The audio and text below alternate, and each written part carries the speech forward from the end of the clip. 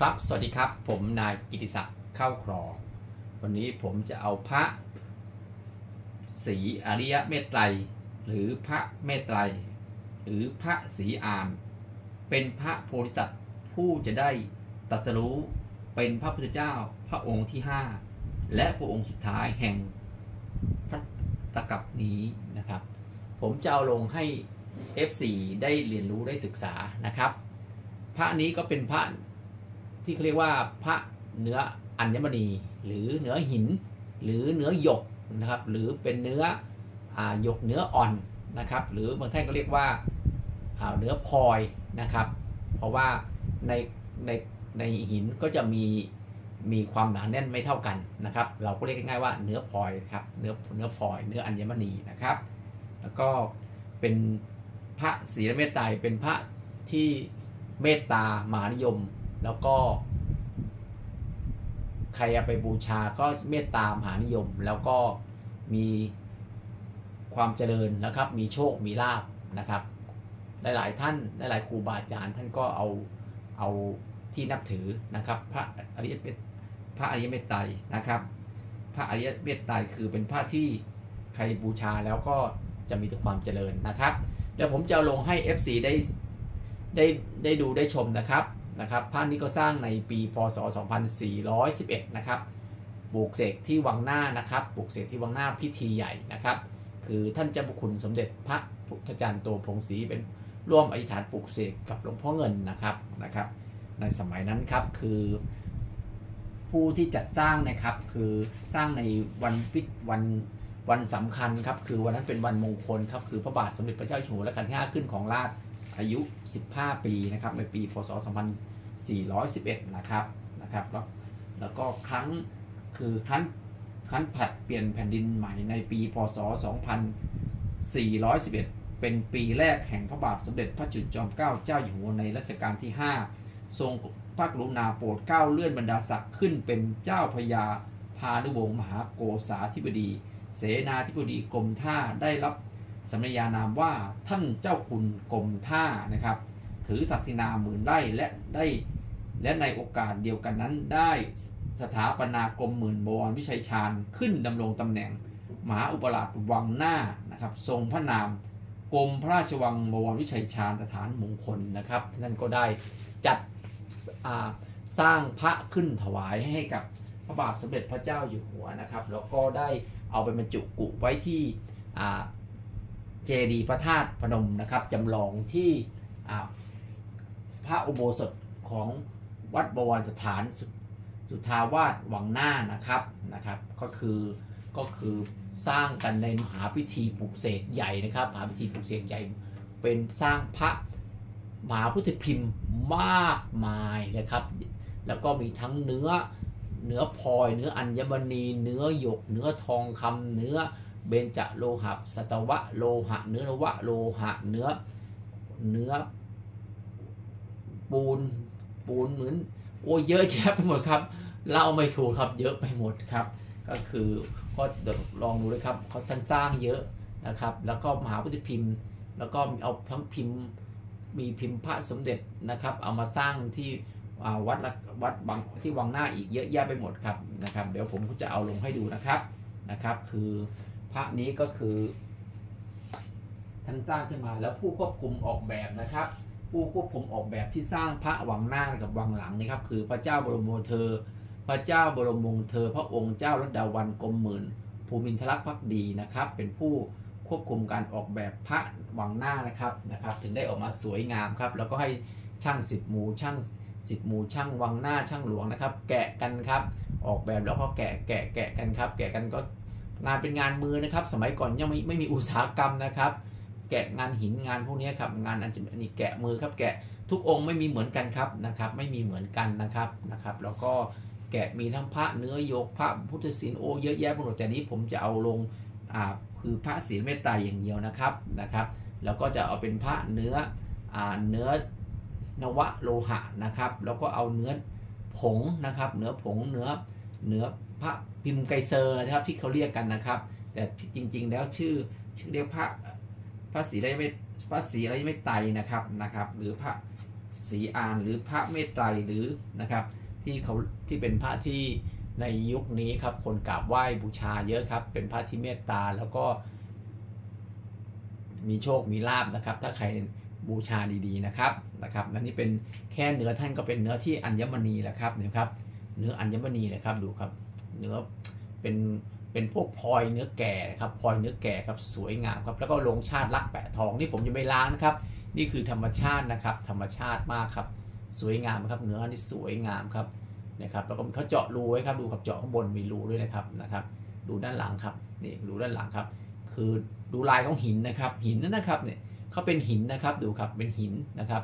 เป็นหินบางช่องก็ส่องไฟทะลุมันก็ไม่ทะลุไม่ทะลุครับ คือหินก้อนหนึ่งครับเขามีความหนาแน่นไม่เท่ากันนะครับไหมครับ มีความหนาแน่นไม่เท่าไม่เท่ากันนะครับดูครับ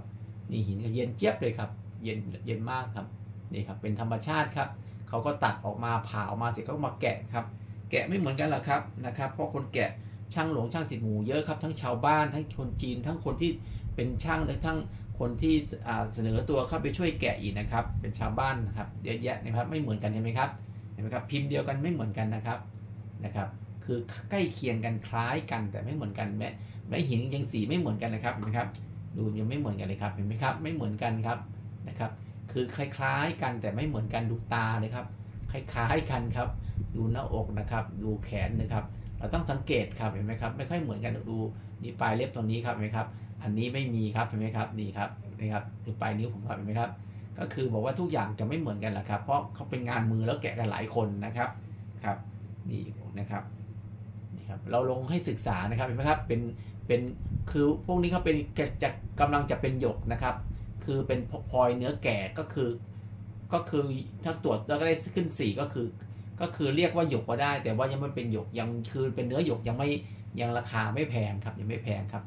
นะครับ แต่สมัยก่อนเขาไม่คิดแหละครับเพราะเป็นหินก้อนหนึ่งเขาก็ผ่าออกมา เห็นเป็นสีสีเขียวเขาก็อย่างเงี้ยเป็นสีเขียวเขาก็เอาเลยครับเขาก็แกะเลยนะครับ เพราะว่า ก็คือคนเขาก็ไม่ให้ในสมัยนั้นปกประวัติศาสตร์เห็นว่าเขาเอาพอถือว่างานนี้เป็นงานมงคลคน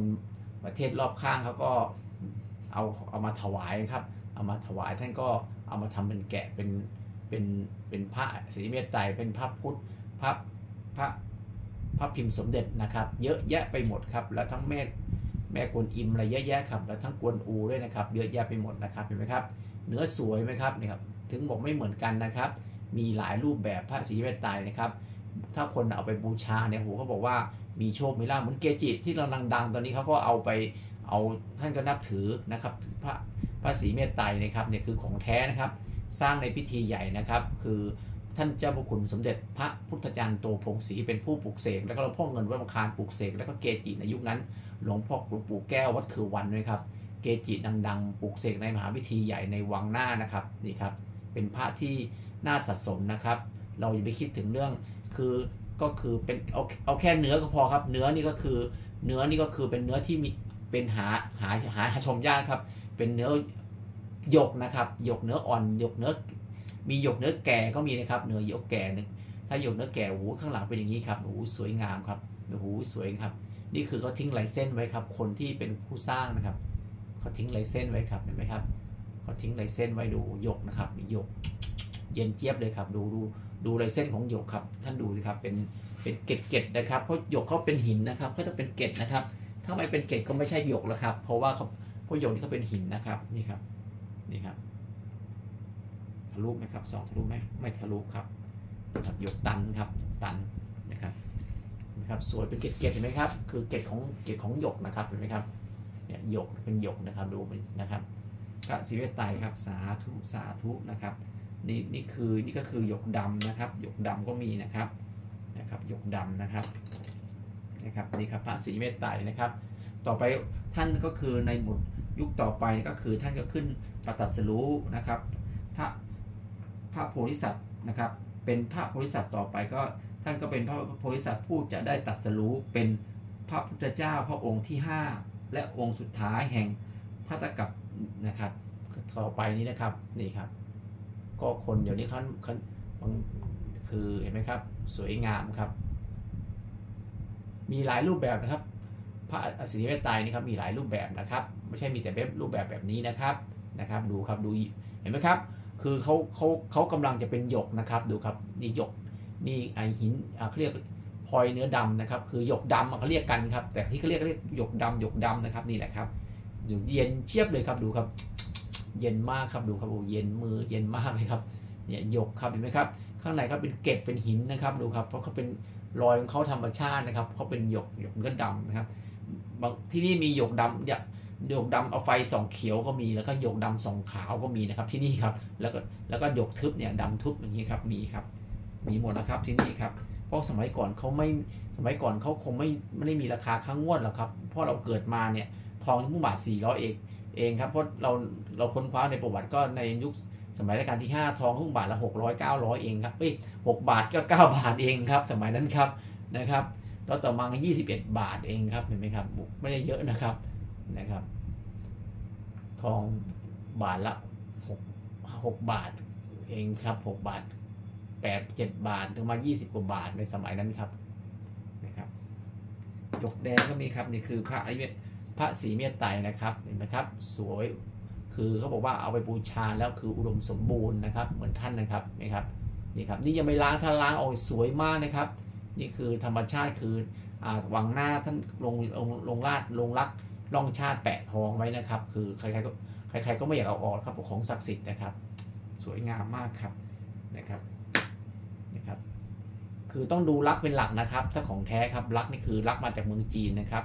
รักนี่เหนียวติดนะครับนี่ครับเย็นนะครับนี่ครับ สวยครับหยกหยกส้มหยกแดงพวกเนี้ยนี่ครับโอ้ยสวยมากครับองค์นี้ครับดู สีสวยมากครับ สวยมากครับนะครับ เดี๋ยวผมจะลงให้ทั้งเป็นผ้าเนื้อโลหะและทั้งเป็นเนื้อผงด้วยนะครับเนี่ยครับสร้างที่วังหน้านะครับนะครับปลูกเสกโดยท่านเจ้าบุคุณสมเด็จพระพุทธจารย์โตพรมองศรีวรคังนะครับนะครับ มีหลายแบบนะครับ นี่เอาเราเอาลงให้ดูแค่นี้ก่อนนะครับ นี่เราล้างนะครับล้างไม่หมดเลยครับเห็นไหมครับล้างแล้วสวยครับเห็นไหมครับล้างยังไม่หมดครับเห็นไหมครับเอามือขัดเอาขัดขัดอย่างเงาเลยครับเนี่ยเพราะเขาเป็นหยกเป็นหินครับเห็นไหมครับ เริ่มเงาขึ้นมาเลยครับเห็นไหมครับนี่ครับเขาเป็นหินนะครับหินจับเย็นเจี๊ยบนะครับ เย็นมากเลยนะเขาเรียกพระสีไม่ไตนะครับนะครับ คือเป็นเนื้อเป็นเนื้อนะครับ เป็นเนื้อนวโลหะ หรือสำริดคุณคือสำริดเขียว เนื้อจะออกเขียวเขียวๆนะครับ แล้วก็ออกเหลืองเหลืองๆเขียวเขียวเหลืองเหลืองๆสีชมพูนะครับนะครับ แล้วพิมพ์นี้มีบล็อกบล็อกนี้มีหลายพิมพ์นะครับ มีหลายบล็อกหลายพิมพ์นะครับแล้วถ้าบล็อกนี้ก็จะมีแตกมีรานมีร้าวตรงนี้หน่อยครับ มีร้าวตรงนี้ครับ แล้วก็จะแตกแบบนี้พิมพ์อื่นก็บางทีก็ไม่เหมือนกันนะครับ เราคือบล็อกนี้ก็จะต้องเป็นอย่างนี้ อีกบล็อกหนึ่งก็อีกเป็นอีกแบบหนึ่งนะครับ คืออย่าชี้ตำหนิเรื่องพระนะครับ เราดูเนื้อเป็นหลักดูความ ความเก่าดูกาลเวลาเป็นหลักนะครับเรื่องพระนะครับนะครับ แล้วก็พระนี้ก็เนื้อนวะโลหะหมายถึงนัยยะของธรรมอันสูงสุดในพระศาสนา อันได้แก่ นวะโลกุตรธรรม อันมีมรรคสีผลสีนิพพานหนึ่งสำลิดคุณเป็นทองสำลิดเหนือเก้าโอ้โหสุดยอดนะครับ ในนี้เขาเรียกเป็นทองสำลิดเหนือเก้านะครับ ต้องมี9อย่าง มีอะไรบ้างครับ มีส่วนผสม 9 อย่างมีอะไรบ้างครับ คือ มีส่วนประกอบทองแดงในนี้ครับ มีทองแดง มีตะกัว มีสังกะสี มีปลอด มีเหล็กละลายตัว มีชิน มีเจ้าน้ำเงิน เจ้าน้ำเงินคือพวงนะครับ เจ้าน้ำเงิน แล้วก็เงิน แล้วก็ทองคำนะครับโอ้สวยมากผมแล้วถึงออกมาเหลืองๆนี่ครับ พอเก้าอย่างก็ผสมแล้วครับ แล้วก็ หลอมกันออกมาด้วยวิชาอาคมนะครับด้วยท่านกสินไฟกับบุกใส่เข้าไปนะครับแล้วออกมาเป็นสีอย่างนี้ครับ สวยงามมากครับนะครับ แล้วดีด้านไหนครับ ดีด้านไหนครับ เนื้อภายในมีวันณะสีจำปาอ่อนโอ้ใช่เลยจำปาอ่อนนะครับจำปาอ่อนนะครับ แต่ผิวเนื้อเมื่อกับค้ำเพราะถูกไอเหงื่อจะมีวันณะคล้ายเจือเขียวนะครับอย่าออกเจือเขียวจริง ๆ ด้วยครับ มีตามตำราเลยครับ มีเจือเขียว มีเจอเขียวเตยครับสีเขียวเขียวเตยเนี่ยคล้ายๆใบเขียวเตยครับจริง ๆ ด้วยครับ ใบเขียวเตยนะครับนะครับใบเขียวเตยเห็นไหมครับเนี่ยใบเขียวเตยนะครับมนมนแกมเหลืองอะมนแกมเหลืองมีเหลืองด้วยจริง ๆ ด้วยครับมนแกมเหลือง อ่อนค้ำมีแววโอ้ถูกด้วยครับมีแววด้วยครับนี่มีแวววาวนะครับโอ้ยมีแวว มีแววขาวขาวครับออกขาวขาวไหมครับนี่ขาวขาวแววแววขาวครับโอ้ตามตำราเลยครับ โดยตลอดเนื้อ สำลิดชนิดนี้อำนวยคุณวิเศษนะโหดูครับตัวนี้จะดีตรงไหนครับอำนวยอำนวยคุณวิเศษ เช่นเดียวกับสำลิดเดชทุกประการโอ้โหสุดยอดครับเดี๋ยวดูครับดู แล้วข้อสำลิดทุกประการเขาต้องแปลไปแปลอีกครับ เดี๋ยวนี้ต้องต้องแปลด้วยครับว่าดียังไงครับ คืออำนวยอำนวยคือคือสุดยอดของสำลิดนี้ครับ คือ อำนวยผลในด้านมหาอุด อันสูงส่งคืออำนาจตบะเดชะ มหานิยมลาบผลความสำเร็จ คงกระพันแคล้วคาดทุกประการ โอ้โห สุดยอดครับ สุดยอดถ้าใครได้นะครับ โอ้สุดยอดเนื้อนี่ครับเดี๋ยวเป็นพระพระพิมพ์สีอะไรไม่ไตรด้วยครับ เป็นพระพิมพ์เป็นพระสมเด็จ ต้องเรียกว่าสมเด็จครับ เพราะว่าท่านเจ้าคุณเป็นผู้ปลุกเสกครับ พระศรีอารยเมตไตร พิมพ์สมเด็จ พิมพ์สมเด็จพระต้องเรียกใหม่ครับ พระสมเด็จนะครับ พิมพ์พระศรีอริยเมตไตรหรือพระเมตไตรหรือพระศรีอานนะครับ หรือหรือในยุคนี้ยุคพวกเราเรียกว่าพระพิมพ์ไกเซอร์นะครับ พระสมเด็จพิมพ์ไกเซอร์นะครับนี่โอ้โหสุดยอดครับดูด้านหลังเป็นมีอะไรบ้างครับโอ้สวยมากครับโอ้ดูครับสีครับ โอ้นี่ก็เท่ากับเท่ากับเป็นเหล็กไหลเลยนะครับ เพราะถ้าถ้าเขาบอกว่าถ้าระดับนี้คือเป็นเหล็กไหลนะครับนะครับ เท่ากับเหล็กไหลนะครับเห็นไหมครับคือคือคือเท่ากับความพุทธคุณเท่ากับเหล็กไหลนะครับโอ้โหด้วยธาตุกสินไฟปลุกเสกโอ้โหแบบต้องเกจิจริง ๆ นะครับ ถึงทำได้นะครับต้องคนมีฝีมือเล่นคนสมัยนั้นเขาเล่นแร่แปรธาตุเก่งครับ สมัยโบราณครับทำทำโลหะรวมกันกลายเป็นทองคำได้ครับ คือบอกบางเกจิบางอาจารย์ท่านท่านทำได้ท่านโยนลงน้ำทิ้งเลยครับ ท่านบอกไม่เอาแล้ว เพราะเดี๋ยวคนจะไปทำแล้วไปหลอกไปหลอกขายเป็นทองนะครับโอ้โหสุดยอดนะครับ คนโบราณนี่ถ้าบอกคนโบราณเขามีมีภูมิปัญญาดีมากแต่สมัยโบราณคนสยามนี่ครับเดี๋ยวองค์ต่อมานะครับ องค์ต่อมานี่ครับพระศรีเมตไตรครับ ประเมินราคาหาราคาไม่ได้นะครับ เพราะว่าเนาะมีกันเยอะสร้างกันเยอะครับ แต่ไม่รู้ตกไปตกไประโยชน์ผู้ใดก็ไม่รู้ครับ เยอะนะครับถึงบอกว่าของเนี่ย บางคนมีแต่ไม่เข้าใจนะครับรู้ไหมเป็นผ้าที่มีทั้งทองคำผสมนะครับ คือนวะโลหะนะครับ มี 9 อย่างเอาแค่เนื้อก็สุดยอดแล้ว แล้วปลูกเสกด้วยทักษิณไฟปลูกเสกให้ออกมาเป็นเนื้ออย่างนี้อีกซึ่งว่าสุดยอดนะครับ ทีนี้องค์นี้ครับนี่ครับองค์นี้ครับ องค์นี้ก็คือเหมือนองค์นี้ยิ่งสุดยอดเลยครับ สุดยอดเลยครับนี่คือพระศรีพระสมเด็จพิมพ์พระศรีอริยเมตไตรนะครับ หรือพระเมตไตรหรือพระศรีอานนะครับ นะครับพิมพ์นี้ก็คือเป็นเป็นอ่าเนื้อดำนะครับ เนื้อดำเนื้อดำนะครับ เนื้อดำเนื้อดำนี่ก็คือเขาเรียกว่าสัมฤทธิเดชคือสัมฤทธิ์ดำหรือนวโลหะ เป็นสัมฤทธิ์เนื้อก้าวเช่นเดียวกับองค์เมื่อกี้ครับเนื้อเขียวครับ เช่นเดียวกันเลยครับ แต่ว่าองค์นี้สุดยอดกว่าอีกครับโอ้โหสุดยอดกว่าอีกครับ สุดยอดกว่าอีกครับฟังครับฟังฟังครับ คือสัม คือสำลิดคุณนะครับ แต่มีสัดส่วนการผสมได้เกณฑ์ถูกต้องตามมูลสูตรมากที่สุดดังนั้น ภายในจึงมีวันนะจำปาแก่ผิวเนื้อ เมื่อกับคำจะดำสนิทโอ้โหนี่ครับจะดำสนิทครับจะดำสนิทปะหนึ่งนิดปะปะหนึ่งนินนะครับ เหมือนนินดำเลยครับนำโลหะ มากระทบกันคือถ้ามีสององค์กระทบกันจะออกเป็นเสียงยังไงเดี๋ยวฟังนะครับ จะออกเป็นเสียงเหมือนลูกแก้วเขาบอกเป็นลูกแก้วครับโอ้ใช่เลยครับเนี่ยเหมือนลูกแก้วเลยครับ เหมือนดังคือดังเหมือนลูกแก้วเลยครับ ดังเหมือนลูกแก้วเลยครับ โอ้ยสุดยอดเลยครับ สุดยอดเลยครับก็เสียงกระทบดังดังเสียงดังเหมือนแก้ว เรียกกันว่าสำลิดเนื้อกับนะครับเขาเรียกว่าสำลิดเนื้อกับ โบราณถือว่าสำลิดนวะโลหะนะครับ ทั้งเนื้อ เนื้อดำเนื้อเขียวนี่ครับเหมือนปีกแมงทับนี่ครับนะครับสองประเภทนี้เป็นสำลิดที่สมบูรณ์ที่สุด และเป็นยอดของสำลิดอำนวยผลในด้านมหาอุดอันสูงส่งคืออำนาจตบะเดชะ มหานิยมราบผลความสำเร็จของโครงกระพันแคล้วคลาดทุกประการสูตรผสมผสมเนื้อสูตรผสมเนื้อสำลิดเดชหรือนวะโลหะ นี้เป็นตำรับของสมเด็จพระพลรัตน์ สมเด็จพระพลรัตน์วัดป่าแก้ว ยุคกรุงศรีอายุธยาโอ้หลวงปู่โตท่านได้สูตรมาครับโอ้โหท่านได้แล้วก็ให้ช่างวังหลวงกันร่วมกันสร้างกันขึ้นมาครับเขาบอกว่าบางมีชุดหนึ่งท่านได้เข้าไปปลูกเสกในถ้ำที่นครสวรรค์นะครับ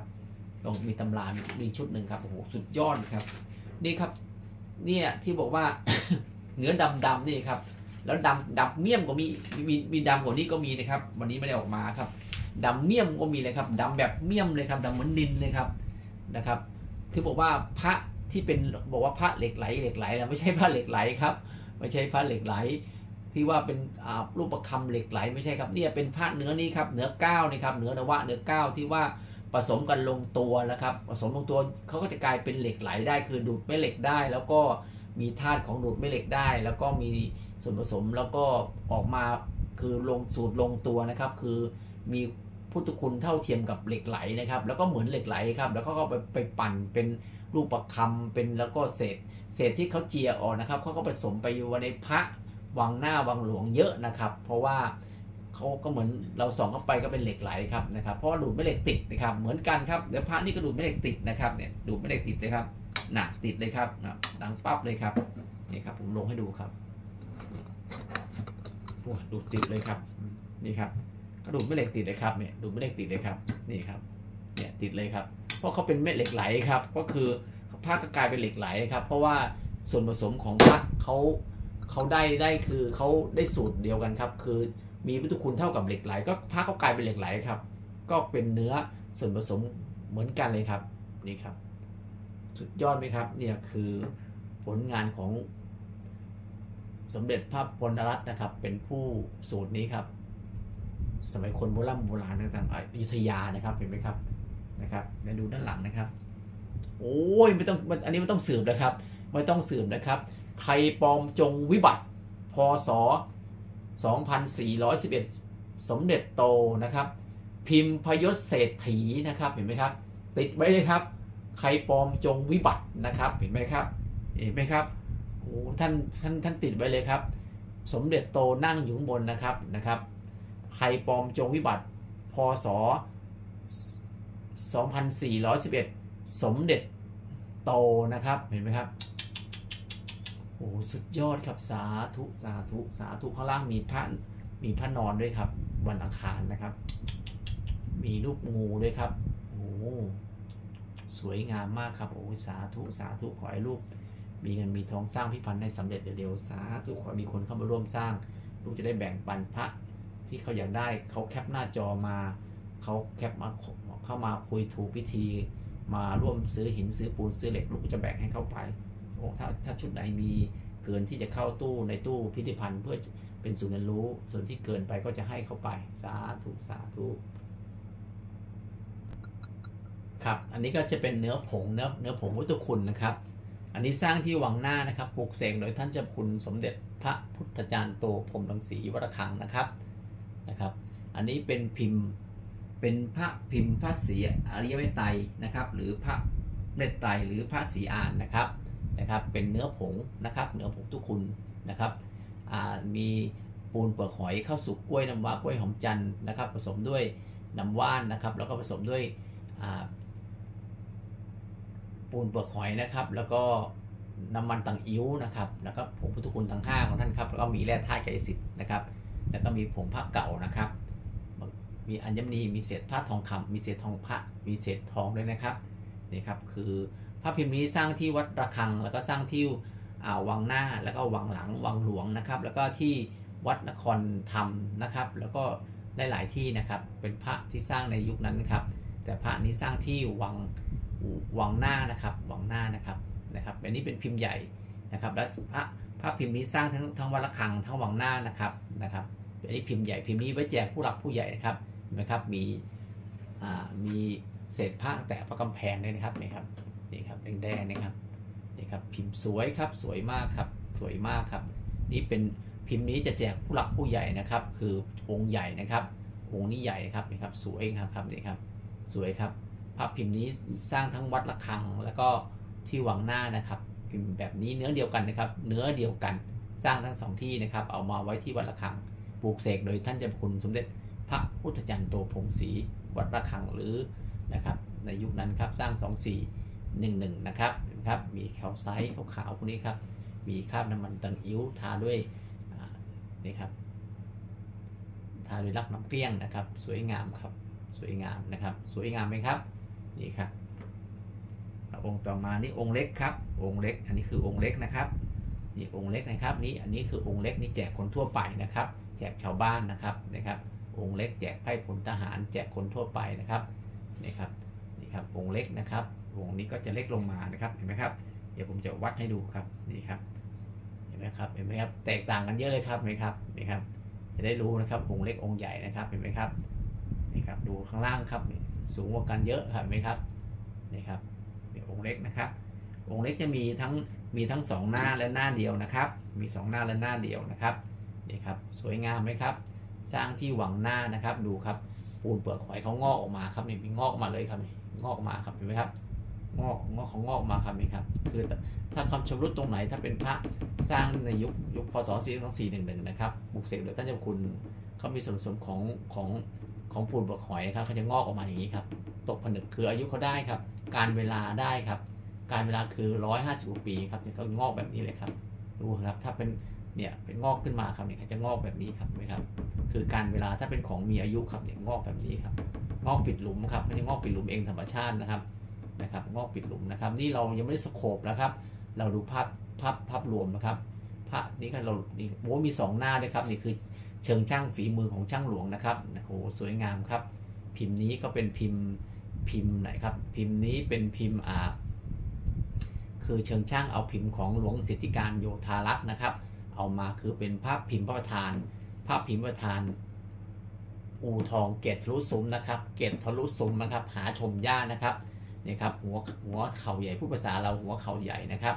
แล้วก็มีเส้นนิสินะลางๆนี่ครับ แล้วก็ ตัวนี้ชายนี่ครับขึ้นมานี่ครับคือเป็นภาพพิมพ์นี้ภาพพิมพ์นี้สร้างที่วัดระฆังนะครับ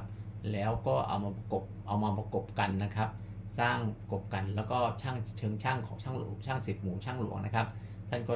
แสดงฝีมือของท่านนะครับ แล้วก็เอามาประกบแล้วก็เอามาสร้างเป็นพระหวังหน้าครับปลูกเสกโดยท่านเจ้าคุณสมเด็จพระพุทธยานโตพงศรีวรคังนะครับนะครับพระพิมพ์ประธานอูทองพระพักท่านใหญ่ พระพักท่านใหญ่นะครับ ใบหน้าท่านใหญ่แล้วก็ประเกตเป็นรูปกงกวย แล้วก็เป็นแหลมปลายทะลุข้างบนนะครับ คือนี่คือพิมพ์นี้ก็หาชมยากนะครับนะครับ แล้วก็เส้นนีสีนักเห็นลางๆนี่ครับนี่ลางๆนี่ครับนี่ครับนี่คือเราจะสูงครับจะสูงครับเนี่ยเห็นไหมถ้าของวัดระฆังจะสูงจะสูงนะครับเนี่ยรอยรอยรอยรอยรอยแกะแม่พิมพ์นะครับ สูงมากเลยครับเนี่ยสูงนะครับเป็นรอยรอยสิวอยู่เลยครับเนี่ยเป็นรอยสิวเลยครับ สูงหมดแล้วครับนะครับ แล้วท่านก็ชักเชิงช่างฝีมือก็เอามาประกบกันนะครับนะครับ ดูครับเนี่ยผ้าเขาเขาเขามีหลุมมีหลุมไหมครับ มีเขาเสื่อมสภาพเขาเหี่ยวหดเป็นหลุมมวลสารหลุดออกไปครับเห็นไหมครับเขางอกขึ้นมานะครับอันนี้ตรงไหนที่เขางอกได้เขายังงอกเยอะอย่างนี้นี่คือการเวลา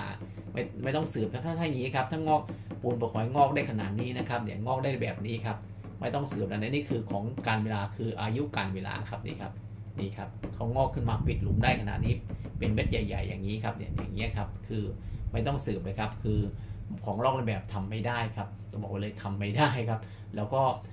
ผนังของพระนี่ครับเห็นไหมครับแคลไซต์ตกผนึกหนาปึกปักเห็นไหมครับหนาปึกปักเลยครับเห็นไหมครับเห็นไหมครับ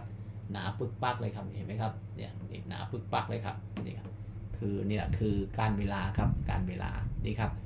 พระองค์นี้มีทั้งสองหน้าอย่างนี้คือโอ้ พุทธคุณแรงมากครับ บอกเลยพุทธคุณแรงนะครับ ทั้ง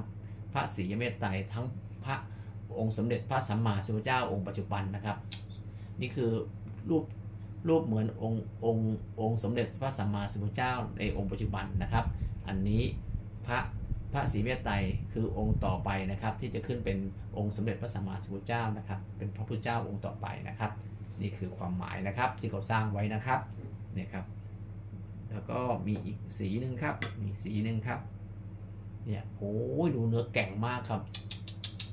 เนื้อแก่งมากครับดูครับโอ้เดี๋ยวเดี๋ยวผมต้องลงขยายให้ท่านดูเลยมั้งนี่ครับก็สวยมากครับดูครับเนื้อแก่งมากครับดูครับโอ้โหสวยจริง ๆ ครับ เชิงช่างฝีมือช่างหลวงครับ สวยมากครับดูครับ สวยงามครับถ้าใครได้ไปนะครับ เอาใส่กรอบนะโหบูชาดีๆ ครับโอ้โหสีเชิงช่างนี่ครับผิดพัดโอ้สองข้างของหน้าอีกครับ ส่งหน้าอีกครับโอ้พิมพ์เดียวกันเลยครับ แต่คนละคนละบล็อกนะครับทำไมถึงรู้ครับ เพราะว่าไม่เหมือนกันครับนะครับอคอยดูนะครับดูอีกองค์แรกนะครับ ดูครับ ความสูงความสูงยังไม่เท่ากันเลยครับ ความสูงของพระยังไม่เท่ากันเลยครับนไหมครับนะครับ คนละบล็อกครับ คนละบล็อกถึงบอกว่าพระสมัยก่อนเขาท่านอยากให้รู้คือเอามาเทียบกันเลยครับจะรู้เห็นไหมครับเห็นไหมครับเอาดูองค์นี้ครับนี่ครับ องค์นี้นะครับ เห็นไหมครับ ไม่เหมือนกันเลยครับป่วยไม่เหมือนกันครับ เห็นไหมครับ จะได้รู้ครับแขนแขนครับนี่ครับ ชิดกว่านี่บานกว่าครับอันนี้อันนี้สอบเข้ามาครับ อันนี้อันนี้ออกบางนอกครับเห็นไหมครับ คือเราดูบ่อยๆเราจะรู้ทันทีครับเห็นไหมครับ ไม่เหมือนกันครับเห็นไหมครับ ก็คือบอกว่าอันนี้อันนี้เข้ามาด้านในนะครับ อันนี้ปกติครับนี่คือวิธีการดูครับนี่ครับ คือบล็อกแม่พิมพ์ถึงบอกว่าเชิงช่างแกะกันหลายคนหลายบล็อกจะชี้ตำหนิไม่ได้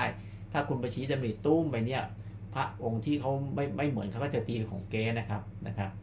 ถึงบอกว่าพระห้ามตีห้ามไปชี้ตำหนิเพราะเชิงช่างช่างสิบหมูมีหลายเป็นหลายร้อยคนครับนะครับ หลายร้อยคนนะครับ แล้วก็จะมีองค์ดำสีดำก็มีนะครับ อันนี้สีแดงนะครับ สีแดงนะครับเห็นไหมครับสวยงามครับดูครับ สีแดงนะครับเนี่ยพระสีเม็ดไตรสีแดงสวยงามครับ สวยงามครับนี่นะครับ สวยงามมากครับนะครับ ทีนี้เราจะดู เป็นพระสีเมตไตรอีกนะครับ นี่องค์ครับพระสีอริเมตไตรนะครับ องค์ใหญ่ครับเนื้อเนื้อขาวครับ ขาวนี่เขาเรียกขาวนมสดครับขาวนมสดนะครับ สีขาวนมสดนะครับดูครับ ขึ้นแขวใสด้วยนะครับ สวยงามไหมครับดู สวยครับครับมีถ้ามีถ้าใส่กรอบยาวๆสวยมากครับองค์ใหญ่ครับสวยครับนี่ครับ ดูครับเหี่ยวหดแห้งนะครับ เป็นหลักธรรมชาติมีเศษภาแตกพระกำแพงมีเหล็กไหลบุมไฟดำมีคราบเก่านะครับ มีการงอกครับหลุดเป็นในจุดเป็นมุจุดครับที่เขาเขาหลุดหลุดอันไหนหลุดหลุดลุยออกมาเก่าๆเขาจะมีแถวไซทับถมงอกออกมาครับ เป็นหลักธรรมชาติครับ สวยงามครับดูครับ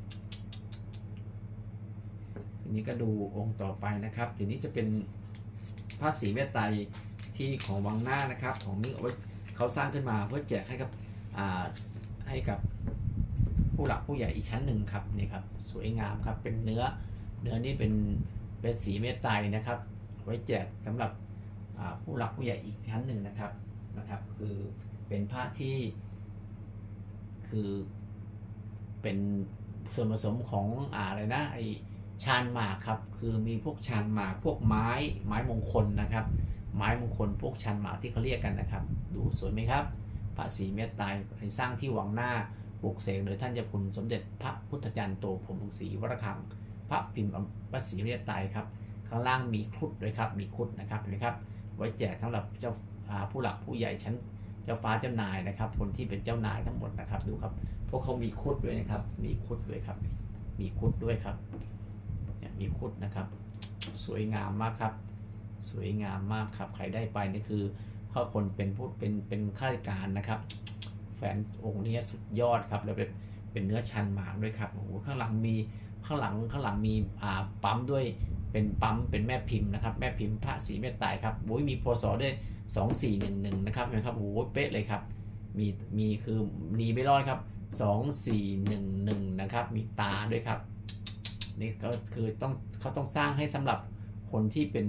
เป็นผู้หลักผู้ใหญ่ในยุคนั้นนะครับ เห็นไหมมีตาด้วยครับนี่สองสี่หนึ่งหนึ่งนะครับนี่ครับ มีหลักฐานไว้เลยครับ แล้วก็โรยด้วยทองคำนะครับ เดี๋ยวผมจะลงขยายด้วยกล้องพันหกเล็กให้ดูครับองค์นี้ครับ ถือว่าสวยมากครับ ครับนี่องค์ครับนี่องค์เล็กครับ มีสององค์ครับ มีสององค์องค์เล็กองค์ใหญ่ครับนี่ครับนี่องค์ใหญ่นะครับเดี๋ยวเทียบดูก่อนครับ เดี๋ยวจะลงขยายดึกกล้องพันองค์เล็กให้ดูครับนี่ครับ อันนี้คือองค์ใหญ่นะครับ องค์ใหญ่นะครับ องค์ใหญ่นี่คือองค์ใหญ่นะครับเห็นไหมครับนี่องค์เล็กครับพระศรีเมตไตรครับมีคุดเหมือนกันครับ มีคุดเหมือนกันเดี๋ยวด้านหลัง ด้านหลังก็เหมือนกันครับ สวยงามมากครับต้องห่อให้ดีนะครับ เพราะว่าเป็นเนื้อเนื้อเนื้อผงชันหมาครับสวยมากครับดูครับโอ้ด้านหลังดูครับโรยโรยของมีค่านะครับโรยของมีค่าของที่ของที่มีพุทธคุณนะครับดูครับ สวยงามครับ มีทองนะครับ มีพวกทองพวกเกี่ยวกับของที่มีค่าครับดูครับ เดี๋ยวผมต้องผมต้องตะโขบให้ดูครับนะครับ ครับนี่ครับมีตานะครับเป็นตาแผ่นดินครับอยู่ด้านหลังนะครับเห็นไหมครับนะครับ อันนี้คือแถมให้ครับ แถมให้ครับนี่คือเป็นพระพระพระไม่ตัดปีกนะครับ พระไม่ตัดปีกนะครับนะครับ สวยงามไหมครับ สวยงามมากครับดูครับ ชัดเจนครับ นี่ครับชัดเจนมากครับสร้าง 2411 นะครับ สร้าง 2411ดูชัดเจนไหมครับเนี่ยของเก่าให้ดูครับนี่ปุ๊บอ้าวไม่ใช่ภาษีเป็นไม่ใช่ภาษีไม่ใช่ภาษีที่ไม่ตายเมตไตรนะครับไม่เป็นไรครับ ถือว่าแถมให้ดูครับ ผิดหยิบมาผิดองค์ครับ สวยงามครับ สวยงามครับ สร้าง 2411 ไม่ตัดปีกนะครับโอ้สวยงามครับ ตอนนี้เราจะลงขยายด้วยกล้องพันหกร้อยให้ดูนะครับ ครับเดี๋ยวผมลงขยายด้วยกล้อง 1,600 x ให้ดูนะครับนี่คือพระศรีเมตไตรนะครับ คือไกเซอร์นะครับนะครับที่แปะทองครับเห็นไหมก็มีรอยกาวเลยครับกาวแปะนะครับ กาวรักทนมากครับกาวโบราณครับนะครับดูชนิดเราจะหาดูเนื้อครับเดี๋ยวพลิกดูด้านหลังดีกว่าครับ เพราะว่าด้านหน้าเรามองไม่เห็นนะครับ เพราะว่าเขาแปะแปะด้วยทองครับอ่าดูด้านหลังนะครับ นี่เขาบอกว่าเนื้อชันหมากนะครับ ที่บอกเนื้อชันหมาก เนื้อชันหมากนี่ก็มีหลายมีเศษไม้สักไม้มงคลนะครับ พวกไม้มงคลแล้วก็มีภูสามหางบริภูสองหางพวกนี้ครับนี่ครับเห็นไหมครับนี่ครับแล้วก็ชันหมากครับ เป็นอันดินอย่างเล่น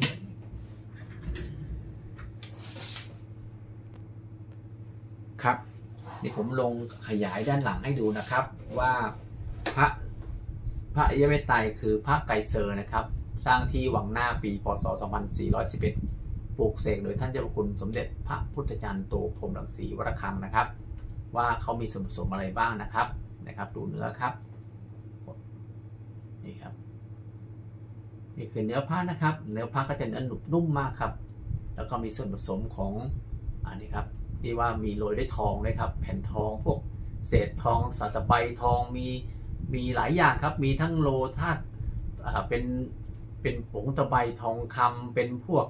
พระเก่าพวกนี่ครับพวกพระเก่งอะไรพวกเนี้ยที่เขาตะไบออกมาจากแต่งพระนะครับนะครับพวกนี้ครับนี่ครับมีทั้งเศษทองพวกนี้ครับเห็นครับ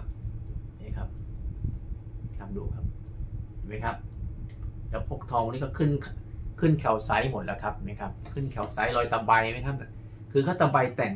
สมัยก่อนเขาสร้างพระสร้างฐานพระสร้างพระสร้าง แล้วก็ช่างหลวงช่าง สิบหมู่แล้วก็ช่างทองที่เยาวราชเขาเอาเอามาถกมีหลายเศษทองผงทองนะครับ มีหลายหลายอย่างครับ รวมอยู่ในนี้หมดแล้วครับดูครับนะครับ ทีนี้ก็มีหลายอย่างนะครับเห็นไหมครับเสร็จไม่เหมือนกันครับเนี่ยไม่เหมือนกันเห็นไหมครับ บอกพระวังหน้าก็จะมีแต่ของแบบมีหลายแบบนะครับ มีหลายแบบไหมครับดูดูด้านในครับ ถ้าไม่เข้าสนิมก็คือทองนะครับ แต่ถ้าเข้าสนิมก็คือดำๆก็คือจะเป็นพวกเงินนะครับ ดูง่ายครับโปรการเวลาต้องร้อยห้าสิบกว่าปีแล้วพวกนี้เป็นพวกไม้พวกนี้ครับเป็นพวกไม้เป็นพวกว่านนะครับ ว่านแล้วก็เป็นพวกาชานหมากพวกนี้ครับพวกชานหมากท่านเคี้ยวหมากกันคนโบราณนะครับเชี่ยวหมากแล้วก็เป็นพวกชานหมากแล้วเป็นไม้มงคล มีไม้เป็นไม้มงคล เป็นพวกเถาไม้เถาไม้มงคล แล้วก็เป็นอ่า ใบพลูสองหางอะไรพวกนี้ครับ แล้วก็เขาบอกมีว่านไก่อะไรพวกนี้ไก่จิกอะไรพวกนี้ครับ มีว่านมงคลนะครับ ไม้มงคลนะครับ ที่เราก็ตำลงไปรวมกันไปครับนะครับ รวมลงไปครับ มีหลายหลายอย่างนะครับ ไม่ใช่มีแต่ชานหมากอย่างเดียวครับนะครับ มีหลายอย่างครับแล้วตำเข้าไปครับนะครับ ถ้าเป็นถ้าเป็นชานหมากทั้งหมดคงเป็นไม่ได้นะครับ สร้างพระตรงเยอะเขียวไม่ไหวแน่ๆครับ คือเป็นไม้มงคลนะครับที่ตามลงไปพวก ว่านเสน่ห์ครับว่านเสน่ห์ก็มีหลายอย่างเราเข้าไปอ่านดูครับ มีตำราครับนี่ครับเห็นไหมครับมีทั้งทองมีทั้งเห็นไหมครับมีหลายแบบนะครับเห็นไหมครับมีหลายแบบมีทั้งแคลไซต์นะครับ แล้วก็มีโลหะโลหะที่เขาไม่ใช่ทองเขาจะมีเป็นเปลี่ยนแปลงทางอ่ามีออกไซด์ออกมาครับไหมครับเป็นออกไซด์ออกมาครับ คือเขาไม่เป็นออกไซด์มาคือเขาไม่ใช่ทองหรอกอันนั้นก็เป็นทองก็มีแดงๆนะครับมีทองเปลี่ยนออกไซด์มาครับนะครับ มีโลหะออกไซด์สีแดง ก็ออกไซด์สีขาวนะครับนี่ครับ คือนี่วิธีดูการการเวลาของเก่าโบราณนะครับนี่ครับนี่ครับเขาเรียกเขาเรียกเรียกภาษาโลกเรียกเนื้อชันหมากนะครับ แต่ไม่ใช่ชันหมากทั้งหมดครับ เป็นเป็นพวกว่านนะครับ เป็นว่านเป็นเถาแล้วก็เป็นพวกภูบักก้านภูพวกนี้ครับภูสองหางอะไรพวกนี้ครับ เราก็ไปอ่านวิศึกษาครับมีหลาย ๆ อย่างครับที่ท่านออกใส่เข้าไปนะครับ อันนี้ก็เป็นเป็นพวกทองนะครับ แล้วก็เป็นทองเป็นแล้วก็ไม่ใช่แล้วก็เป็นทองแบบว่าทองลูกทองลูกบวบอะไรพวกนี้ครับที่ที่ที่สร้างพระนะครับ ท่านก็จิอาจแต่งออกมาแล้วก็เสร็จก็มาใส่ในนี้ครับแล้วก็ทองคำก็มาใส่ในพระนี่ครับเห็นไหมครับ ก็จะอยู่ในนี้หมดแล้วครับ มีหลายๆ อย่างไม่ใช่ว่ามีมีอย่างเดียว ไม่ใช่ทองคำอย่างเดียวนะครับ มีหลายอย่างนะครับดูครับเห็นไหมครับมีเนื้อเป็น เป็นแบบนี้ก็มีครับเห็นไหมครับ เป็นดูครับนะครับ เป็นส่วนผสมหลาย ๆ อย่างครับเห็นไหมครับ ไม่ใช่จะมีทองนะครับ เพราะสมัยก่อนเรามีใช้กล้อง 10x เราก็นึกเป็นทองหมดไม่ใช่นะครับ เราต้องใช้กล้อง 10โขบนะครับถึงจะเห็นดูว่าอันไหนทองไม่ทองนะครับนี่ครับเขียวนี่คืออะไรครับเห็นไหมครับมีทั้งเหล็กน้ำพีด้วยนะครับนี่เหล็กน้ำพีครับเห็นไหมครับเนี่ยถ้าเหล็กน้ำพีเป็นอย่างนี้ครับเหล็กน้ำพีมาจากอุตรดิตถ์นะครับ ที่ว่าเขาเอามาตีดาบเป็นตีพระขันนะครับเห็นไหมสมัยโบราณพันกว่าปีใช้ลบกันนะครับเขาก็ทีนี้เหล็กน้ำพีเขามีพุทธมีมีเป็นเหล็กมงคลนะครับ เหล็กที่มีพุทธคุณนะครับเขาก็เอามาผสมไว้อยู่ในพระพระพระชุดนี้ครับนะครับไหมครับก็จะเป็นอย่างนี้ครับนี่คือสนิมของเหล็กน้ำพีนะครับดูไว้ครับเขาจะขึ้นเป็นดอกดอกไอ้ดอกมะขามนะเป็นดอกแร่นะครับไหมครับเป็นดอกแร่เป็นลักษณะนี้นะครับ ห็นไหมครับ จะได้รู้นะครับ นี่คือสนิมนะครับ แล้วก็เขียวๆนะครับ สนิมหยกนะครับเห็นครับ สนิมหยกนี่ก็เป็นพวกทองแดงพวกไอ้ทองไอ้ทองอะไรครับที่สนิมหยกนะครับ เห็นยังครับนี่ครับจะได้รู้ครับ คือเขามีส่วนโลหะมีโลหะหลาย ๆ อย่างที่เป็นสนิมได้เป็นเป็นออกไซด์ออกมานะครับเป็นครับดูครับเนี่ยดูไว้ครับนี่คือการเวลานะครับ การเวลาเนี่ยบอกจะได้บอกบอกบอกบอกบอกบอกว่าเก่าเก่าหรือไม่เก่านะครับนี่ครับแล้วจะมีพวก เป็นเยื่อไม้ครับพวกไม้ครับเนี่ยไม้มงคลนะครับเนไหมครับ ที่อยู่ในนั้นครับเห็นไหมครับนี่ครับคือการเวลาครับการเวลาพวกนี้เขาแข็งตัวหมดแล้วครับเขาแข็งตัวหมดอย่างนี้แคลไซต์เขาขาวทับไปแล้วครับไหมครับ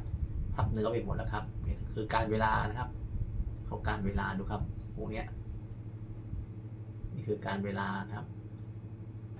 พานี้เขาไว้แจกสำหรับผู้หลักผู้ใหญ่นะครับ สมัยนั้นครับเจ้าฟ้าเจ้านายครับเพราะ เพราะว่านี่คือไม่ใช่แจกคนธรรมดานะครับ สวยงามครับ ที่นี่มีไม่เยอะนะครับ มีไม่เช่มีไม่กี่องค์นะครับ เราเอาไว้ในเข้าพิพิธภัณฑ์ครับ ส่วนหนึ่งก็เอาไว้สำหรับคนที่มาร่วมสร้างครับ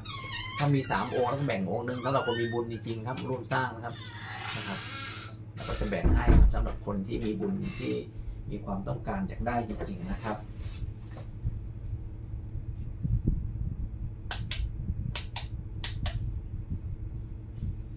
ก็อย่างว่านะครับบุญวาสนาไม่เหมือนกันนะครับนะครับเพราะพานนี้เขาก็คือจะถ้าจะเอามาขายก็เป็นไปไม่ได้ครับ เพราะของพวกนี้รู้จะไปหาที่ไหนแล้วครับนะครับหมดแล้วหมดเลยนะครับนะครับนี่แร่เหล็กน้ำพีครับแร่เหล็กน้ำพีนะครับ เป็นลักษณะนี้ครับแร่เหล็กน้ำพีครับนี่คือแร่เหล็กน้ำพีครับเหมือนแร่ดอกมะขามนะครับนไหมครับนี่แร่น้ำพีครับถ้าแร่ดอกมะขามเขาจะเหลือง เหลืองสีสีม่วงนะครับเหลืองและสีม่วงนะครับ งอกขึ้นมาครับ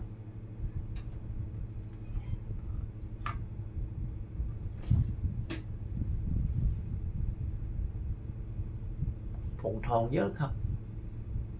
เยอะแยะไปหมดครับอยู่ในนี้ครับ เห็นไหมครับนี่ออกไซด์นะครับเขาไม่ใช่ทองอย่างเดียวนะครับเห็นไหมครับ คือในส่วนผสมเนี่ยก็คือในในในส่วนผสมของพวกพระนะครับ ในพระนี่เขามีมีมีส่วนผสมของมีทองมีอะไรพวกนี้ครับพอเขาแต่งออกมาเขาจะมีโลหะสีแดงๆสนิมทองออกมาด้วยครับนะมีโลหะมีคือโลหะเขาจะมีสนิมออกมาคือเป็นเป็นออกไซด์มามีสีทองสีส้มก็นี่นี่คือทองซึ่งนี่คือสนิมทองทั้งนี้เรียกสนิมทองนะครับ ถ้าขาวขาวนี่คือสนิมอะไรครับนี่ครับเห็นไหมครับมันจะมีหลายรูปแบบนะครับเห็นไหมครับ พวกโลหะเนี่ยคือถ้าการเวลาจะขึ้นออก มันจะมันเคยจะบอกเลยครับว่าอันนี้คืออะไรอะไรครับ ถ้าคนเรียนรู้เรื่องออกไซด์ของโลหะจะรู้ทันทีว่าสีอย่างนี้สีส้มสีแดงคือโลหะของอะไรนะครับนะครับ จะรู้ทันทีครับนี่ครับโอ้ยพวกเศษไม้เยอะครับไม้เยอะครับ ไม้มงคลครับพวกว่านนะครับพวกนี้นะครับเยอะแยะไปหมดครับลองเข้าไปเช็คดูนะครับ ว่าเขาสร้างไปแล้วก็มีคราบดินคราบอะไรพวกนี้ครับ สวยงามครับโอ้ยสวยงามครับดูครับ สวยงามมากครับครับเดี๋ยวดูองค์ต่อไปนะครับจัดว่าสวยงามมากครับ มีองค์เล็กนี่ครับองค์เล็กนะครับ องค์เล็ก ดูข้างหลังลุงเอ็กมีอะไรครับ เหมือนกันไหมครับ เหมือนกันครับ โอ้เหมือนกันไม่ต้องดูแล้วครับ คือทีนี้เราดูดูพระสมเด็จพระศรีเมตไตรนะครับ เนี่ยสมเด็จองค์เล็กนะครับ ดูครับ ดูกันงอกครับเนี่ยครับ ดูการงอกการเวลาดูง่ายครับเนี่ยดูการงอกนะครับนี่คือการงอกแบบนี้ครับเนื้อจะนุ่มๆครับเนี่ยคือพระเป็นพระสร้างสร้างวันหน้าสร้างที่วังหน้ากับวัดระฆังพิมพ์นี้จะเหมือนกันเขาบอกยุคนี้สร้างทั้งวังหน้าทั้งวัดระฆังนะครับ เนื้อจะสวยหนึบนะครับนี่ครับคือเรียกได้เลยครับ เพราะว่าท่านท่านสร้างทั้งวังหน้าและวัดระฆังครับ คือใช้มวลสารของท่านเจ้าคุณสมเด็จพระวิญญาณโตวงศรีวัดระฆังครับ ใช้มวลสารท่านทั้งหมดนะครับก็คือสร้างระบอกแม่พิมพ์เดียวนด้วยนะครับ อ้มีผงทองนะครับนี่ครับผงทองนะครับ สวยงามครับ นี่ครับการงอกออกมาครับนี่ครับนี่ถ้าอายุถ้าอายุไม่ถึงงอกแบบนี้ไม่ได้นะครับนี่ครับนะครับงอกออกมาอย่างนี้นะครับเห็นไหมครับ นี่คือการงอกของอ่าแคลไซต์ครับจับตัวเป็นก้อนนะครับตกผนึกเขาเรียกตกผนึกนะครับพวกนี้ตกผนึกนะครับ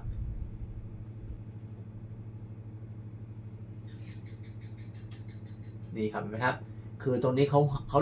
เขา แตกหลุดลุ่ยออกไปครับทีนี้ก็แคลไซต์ก็อายุ 150 ปีเขาก็ตกผนึกขึ้นมาปิดนะครับเนี่ยต่อไปเขาปิดหมดแล้วครับเนี่ยนี่ดูเขาปิดเนี่ยดูรากเขาครับเนี่ยเห็นไหมครับเขายังปิดไม่หมดนะครับดูรากก็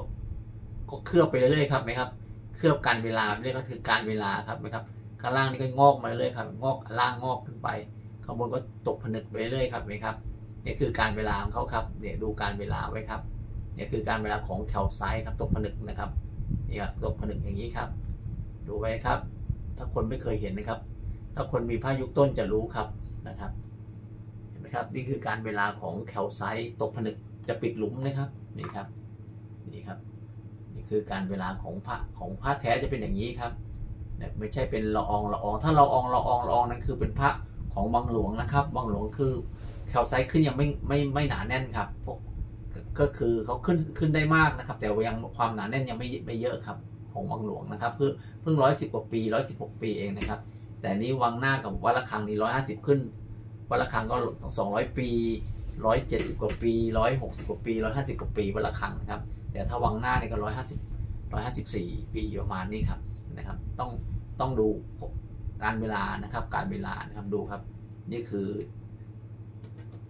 นี่ครับนี่คือพวกดินศักดิ์สิทธิ์ครับดินศักดิ์สิทธิ์นะครับขาวๆพวกนี้แคลไซต์ครับผม พวกนี้แคลไซต์จับตัวเป็นก้อนนะครับอย่างตัวนี้เขาเป็นหลุมนะครับเขาจับตัวเป็นก้อนแบบนี้ครับเห็นไหมครับ นี่คือแคลไซต์ก้อนเบอร์เริ่มเลยครับนี่ครับนี่คือการตกผนึกนะครับตกผนึกถึงบอกว่าเขาดูกันตรงนี้ครับเขาเล่นดูตรงนี้นี่องค์ครับสองหน้าครับ สวยงามมากครับ มวลสารเยอะครับดูครับมวลสารเยอะมากครับมวลสารเยอะครับ พระศรีอานครับ พระศรีเมตไตรครับ ทีนี้ก็ดูอีกองค์หนึ่งครับ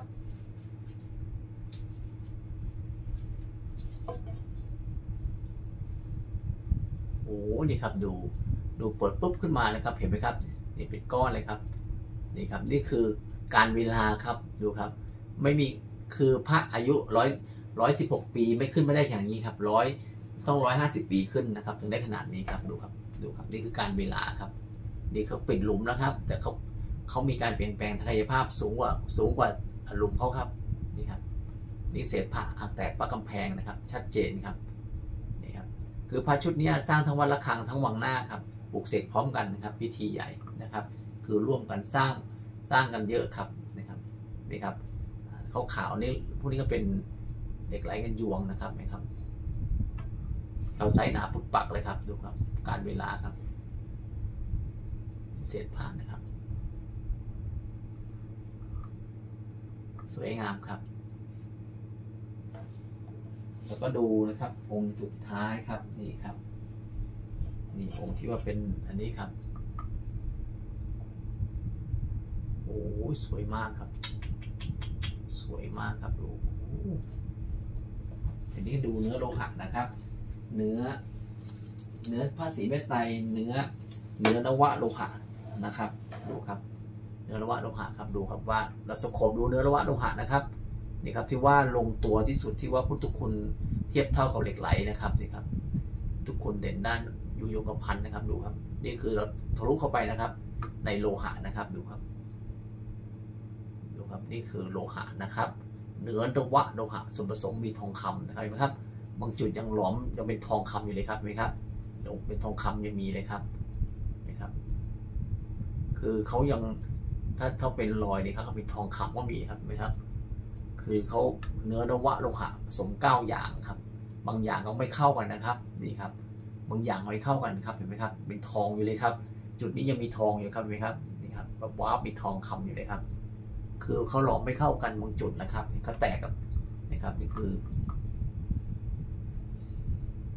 สวยงามครับดูครับนี่ครับสวยงามนะครับเนื้อนวะโลหะเก้าอย่างนะครับ เป็นบุกเสกออกมาพุทธคุณแรงมากครับนะครับนี่องค์ครับ อันนี้เป็นเนื้อออกเขียวนะครับ เขียวเขียวนะครับเนี่ยออกเขียวครับ คือสอง ถ้าใครเห็นสองสองสีนี่เก็บให้ดีครับพุทธคุณแรงสุดยอดครับแล้วทำยากมากนะครับ ต้องมีพลังพุทธคุณเจจิที่มีคือสุดยอดครับถึงจะทำได้ครับดูดูครับ คือหลอมยังไม่เข้ากันครับดูครับธาตุเก้าอย่างมีไม่เข้ากันครับเป็นหลายสีเลยครับ ขึ้นจากธรรมชาตินะครับนี่ครับดูไว้ครับ เนี่ยดูไว้ครับเนี่ยการต้องใช้เพ่งรัศไอไอ พระคาถานะครับ คือพุทธากสินไฟนะครับเล่งเข้าไปครับดูครับ นี่คือสีไม่เข้ากันนะครับ เพราะว่ามีมีเงินมีเจ้าน้ำเงิน มีพวงมีทองแดงทองเหล็กละลายตัวมีเงินมีทองคำนะครับดูครับนี่คือของเขานะครับนี่คือเป็นถ้าใครบอกว่ามีเก็บไว้เนี่ยคือโอ้ยสุดยอดของสุดยอดของมนุษย์นะครับ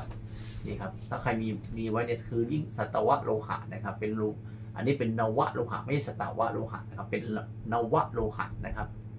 มีติดกับตัวไว้เนี่ยคือสุดยอดของชีวิตนะครับ ทุกอย่างครับควบคุมทุกอย่างนะครับ ทุกอย่างไม่ได้ใกล้ตัวคนเลยครับ พูดผีปีศาจทุกอย่างอะไรไม่ใกล้เลยครับ เห็นไหมครับ เหมือนอยู่ในถ้ำมรกตนะครับเห็นไหมครับ เนี่ยเหมือนเราอยู่ในถ้ำมรกตเหมือนเราอยู่ในในวังในที่อยู่ในใต้ภพหนึ่งครับดูครับนี่ครับดูไว้ครับ เนี่ยเขาแยกนี่คือสารไอ ที่ธาตุที่ผสมผสมโลหะลงไปครับ ไม่ไม่เข้ากันครับ เขาไม่เข้ากันนะครับนะครับ แล้วก็มี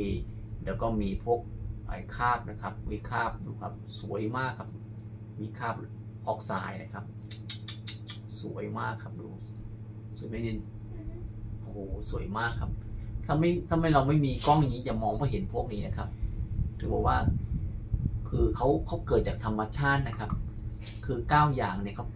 ทำไมออกมาสีได้นี้ก็คือด้วยพลังพุทธพุทธคุณของบารมีของท่านเจ้าพระคุณท่านปลุกเสกนะครับนะครับนี่ครับ แล้วก็เป็นเป็นธาตุโลหะนะครับ ที่ออกมานะครับดูสวยงามครับ ไม่มีใครเห็นก็ไม่เห็นนะครับ ไม่มีใครรู้นะครับดูครับ อันนี้บล็อกเขาแตกครับบล็อกแตกองค์นี้พิมพ์นี้บล็อกแตกครับดูครับ จะเป็นอย่างนี้ครับ คือถ้าไม่แตกเราจะไม่เห็นเนื้อในนะครับนี่ครับเห็นไหมครับ เนื้อในไม่เข้ากันหรอกครับนี่หลอมไม่เข้ากันครับ จะได้รู้ครับ มีเก็บให้ดีนะครับองค์นี้ผมซื้อมาเป็นหมื่นนะครับเนี่ยอยากได้ครับ คือเราไม่มีครับนะครับ สมัยแรกๆครับโอ้ซื้อเป็นหมื่นนะครับเนี่ยผมซื้อมาหลายหมื่นด้วยครับไม่ใช่ทุนเป็นหมื่นนะครับแรกๆนะครับ คือไม่รู้ครับ ไม่รู้เราไม่มีเรามีแต่สีอื่นครับ เราอยากได้สีนี้พอเราค้นคว้าประวัติแล้วครับว่าสีเนี้ยสีดำกับสีนี้สีเขียวเนี่ยคือคิวแปมทับนี่ทุกคนแรงเราก็อยากได้ สำหรับว่าเงินแค่หมื่นหมื่นหลักหมื่นแล้วก็ไม่เท่าไหร่หรอกครับ เราได้ครอบครองแล้วสุดยอดครับนะครับ สมัยก่อนนะครับสมัยก่อนไม่ค่อยมีออกมาครับ ไม่มีออกมาเราจะมีเรามีแต่สีสีสีเหลืองสีขาวนะครับ มีแต่สีเหลืองสีขาวนะครับ แล้วก็สีดำนะครับ สีนี้เราไม่มีนะครับนะครับ เท่าไหร่ก็เอาเราสมัยนั้นครับเราอยากได้ครับ มีตังก็เอาแล้วครับนะครับเดี๋ยว เดี๋ยวนี้ไม่เอาแล้วครับ เพราะมีคือถ้าให้ซื้อไม่ดีนะครับ เพราะเราที่เอามานั้นเราต้องการมาเป็นเป็นเผยแผ่นะครับ ไม่ได้เอามาเยอะครับนะครับนะครับ พอไหนได้พอไปค้นในในตู้มีครับ เจอครับ เจออีกครับ เจอก็เลยต้องไม่ต้องเอานะครับทีนี้ครับ ที่นี่ไม่ใช่ร้านขายพระ ไม่ใช่ร้านซื้อพระนะครับ ไม่ต้องโทรเข้ามาครับชอบโทรเข้ามาซื้อชอบโทรมาขายอย่างเลยครับ ที่นี่เป็นร้านเผยที่เผยแพร่นะครับ ถ้าใครอยากได้อยากได้ก็มาร่วมสร้างเลยครับ ถึงจะให้ได้ครับ ถ้ามีนะครับโอ้สวยมากเห็นไหมครับดูครับมันเอาสีทาไว้เลยครับดูไหมครับ นี่ขึ้นจะขึ้นจากธรรมชาตินะครับนี่ครับ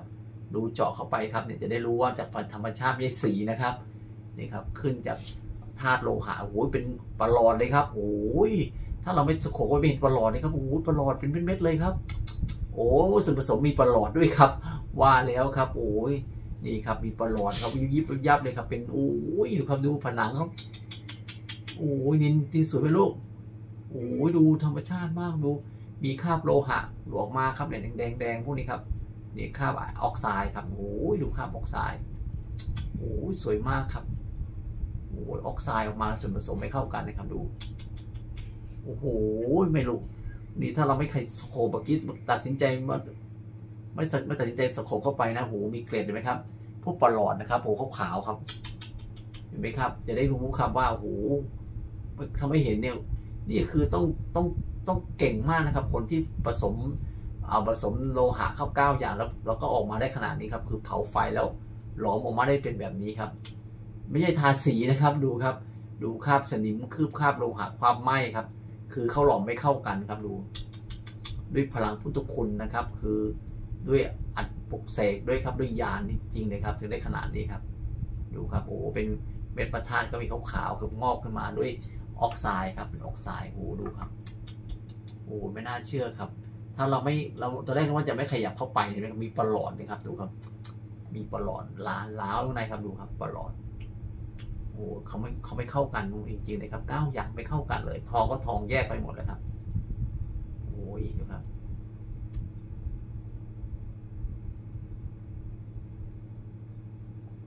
คือเขา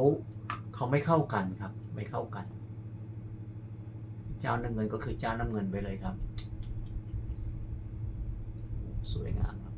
มาดูด้านหลังนี้ครับ โอ้ยครับด้านหลังนี้เป็นสีแบบนี้เลยครับ ดูไม่ได้นะครับ สะท้อนตามากครับ สีดำเดี๋ยวจะสโคบสีดำดูทีครับ สีดำเป็นไงครับรอยล้าวอะไรครับ ต้องมีรอยลานล้าวครับ ดูว่าข้างในก็เป็นยังไง ไม่อันนี้เขาไม่ล้าวเขาแค่เป็นรอยข้างนอกเฉย